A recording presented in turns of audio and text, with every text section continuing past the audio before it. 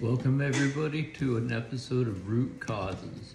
Today we're going to be talking about soil pH and alkalinity. It's a soil meter. It tells you not only the pH but other aspects of the soil that your plant relies upon. Now this is a topic that not many people are aware of, familiar with, but it is very important. The pH soil meter. Maybe you know what it looks like, maybe you don't, but what it does essentially is takes these two rods, one's copper, one's more of a silver color. The copper will talk to you about the moisture in your soil, very important to the roots. Next is the pH sensor, and that's very important. We'll go into that. pH sensor measures alkalinity as well as the acid in your soil. You need to have a delicate balance and research into what your crop is. Not everybody knows about the importance of the soil pH.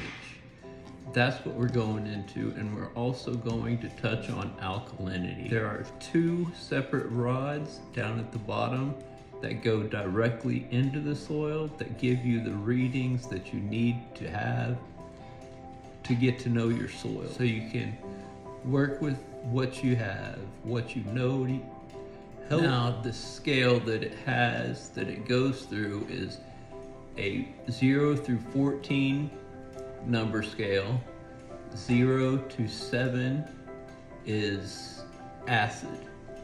7 to 14, alkaline. 7 is kind of the happy spot, the neutral ground. That's the number that you need to essentially work towards. That is the perfect balance that your soil needs. What your crop needs, whatever it is that you have planted in the ground, that's what it needs. This is a reading of what it is, how you get to it. I mean, continue to talk to you about this meter. This is a very basic meter all of them are essentially having these components. You go up from the rods now, at the very bottom here is a pH sensor. It tells you essentially what the pH is of the soil. Also, it has a moisture setting. This, you just flip, flop, to figure out which one you want to get your readings for. Right below the light meter is the pH meter and it's set to acid to alkaline. You put this meter into your soil and there's a dial that tells you whether or not it's acid or alkaline. That is essentially the meter. We'll be talking about the soil pH and its alkalinity. Essentially, it's the measure of your soil. The pH stands for the potential hydrogen in the soil. Potential hydrogen. The pH scale has a higher number reaching to the alkalinity and the lower number reaching for the acidity. Talking about alkaline soil now. Alkaline soil contains excessive amounts of sodium, calcium, and magnesium. Sodium, calcium, magnesium, alkaline soil what it is, is that the soil becomes less soluble and has trouble absorbing certain nutrients.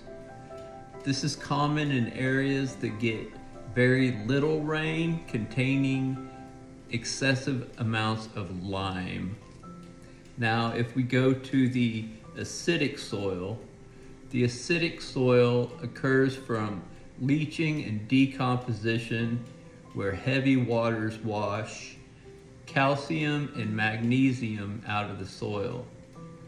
So we have 0 to 6 on the pH scale and it has deficiencies in calcium and magnesium. This soil becomes toxic and harbors an excess of carbon dioxide or nitric and sulfuric acid. So this is the table that